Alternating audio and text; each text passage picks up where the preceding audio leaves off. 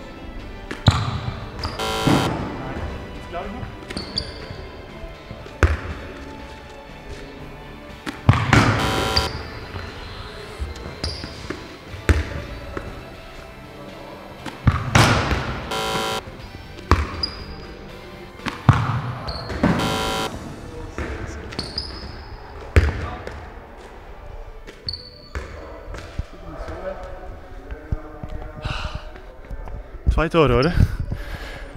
Drei Tore. Ja, eine zu wenig. Ja, das war ganz, ganz schlecht.